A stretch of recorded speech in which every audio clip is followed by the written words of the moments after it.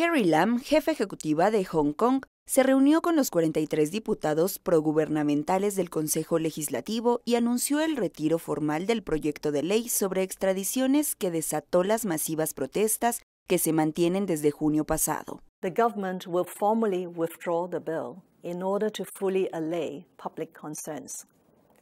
Lam se reunió con miembros de su gobierno, legisladores pro-Beijing y del Congreso Nacional del Pueblo, así como miembros de la Conferencia Consultiva Política del Pueblo, para analizar la situación y tomar la decisión.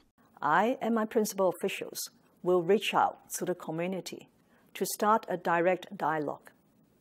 Se acordó que en cuanto inicien las actividades del Consejo Legislativo, el secretario de Seguridad John Lee presentará la moción de retiro del cuestionado proyecto de ley.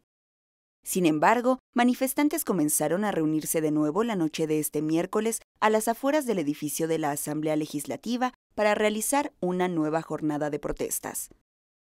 Kex León, presidente de la Unión de Estudiantes Universitarios, dijo que las manifestaciones solo terminarán con la atención a todas las demandas, que incluyen la elección directa del titular del Consejo Ejecutivo.